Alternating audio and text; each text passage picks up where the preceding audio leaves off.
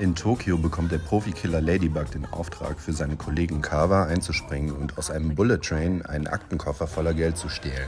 Zwar kann Ladybug das Gepäckstück schnell lokalisieren und entwenden, muss dabei allerdings feststellen, dass es sich zuvor im Besitz der Auftragsmörder Lemon und Tangerine befunden hat. Nach erfolgreichem Diebstahl versucht Ladybug den Zug zu verlassen, wird aber vom einsteigenden Yakuza-Auftragsmörder, der Wolf, daran gehindert, der wiederum auf Rache für seine ermordete Ehefrau aussitzt. Ladybug tötet Wolf im Kampf.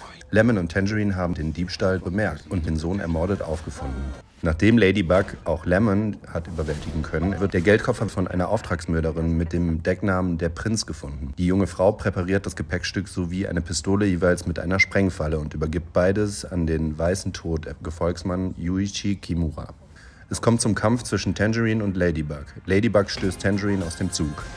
Tangerine kann auf dem abgefahrenen Zug springen und der Prinz versucht sich gegenüber Tangerine als unbeteiligte Dritte darzustellen, wird von diesem aber der Lüge überführt und tritt die Flucht an. Ladybug erkennt zeitgleich, wer der wahre Mörder des Sohnes vom Weißen Tod ist. Eine Auftragskillerin namens die Wespe, die ebenso das eigentliche Ziel vom Wolf war.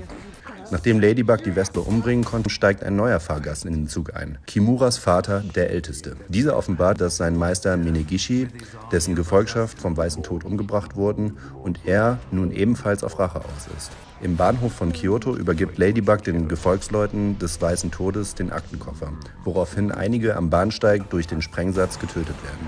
Es kommt zum Kampf zwischen dem Ältesten und dem Weißen Tod, während Lemon den Zug unkontrolliert in Fahrt setzt. Ladybug kann den Zug durch Aktivierung der Notbremse zum Entgleisen bringen. Als der weiße Tod Ladybug erschießen will, sprengt ihm der Sprengsatz die rechte Gesichtshälfte weg. Der Prinz wird von Lem mit einem Lieferwagen überfahren. Abschließend wird Ladybug von Maria Beetle abgeholt.